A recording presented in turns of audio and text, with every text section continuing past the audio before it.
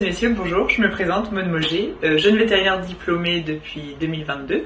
Je suis ici pour aujourd'hui pour vous exposer donc la thèse que j'ai présentée en octobre dernier euh, sur un sujet aussi passionnant que d'actualité, à savoir les nouvelles technologies au service des abeilles et de l'apiculture.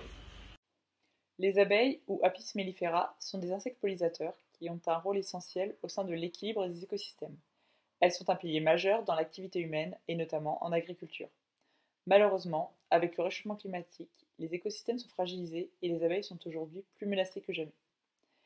L'apiculture, connue de nos jours, est une apiculture traditionnelle, où la main de l'homme, son expérience et son savoir-faire sont essentiels pour assurer la bonne santé des ruches et leur préservation.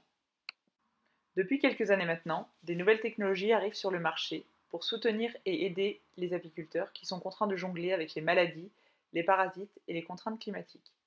En effet, des outils dits connectés sont disponibles afin d'apporter des informations et indications sur l'état général des essaims. Ainsi, au travers de ma thèse, j'ai souhaité créer une base de données sous forme de fiches produits afin de présenter l'ensemble des outils connectés disponibles sur le marché français. L'idée étant de pouvoir fournir un recueil avec tous les produits disponibles afin que l'apiculteur, les vétérinaires ou le grand public portant un intérêt pour l'apiculture puissent se renseigner sur ces nouvelles technologies, notamment s'ils souhaitent investir dans ces produits.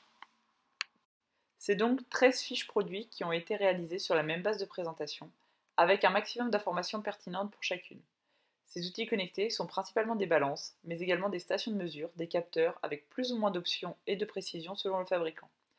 Avec un tel système, les apiculteurs ont très facilement accès aux informations propres à chaque ruche en temps réel.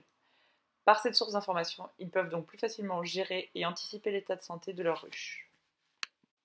À ce recueil de fiches produits, j'ai également créé un tableau comparatif afin de simplifier encore plus la lecture des fiches produits.